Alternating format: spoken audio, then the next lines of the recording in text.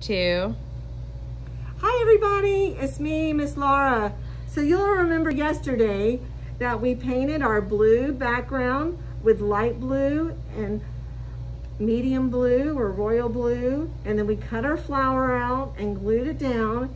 And so today we're gonna add our beautiful colors of orange and yellow on the petals and brown in the center and green down by the leaves and the stems. Red, red, red, red, orange, red, red, orange, orange. Pick a blue, pick a red, pick a orange from the blue, green, blue, green, blue, green. Circle on the violet, diagonal, diagonal, diag, diag, diagonal. No yellow comma, yellow comma. Num, num, num, num,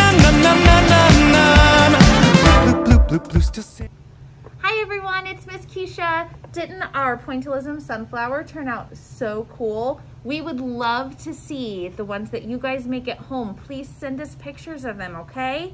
Now something really cool about the videos that you saw of Miss Laura making our sunflowers is when she was painting really fast and there was that cool music. That music is actually from a play about George Seurat, who created this type of art. The musical is called Sunday in the Park with George, and it's written by Stephen Sondheim. The song is called Color and Light. If you guys are interested in it, feel free to ask me any questions about it. I'd be happy to answer them. Or you could talk to your music teacher, Mr. Cody. All right, guys,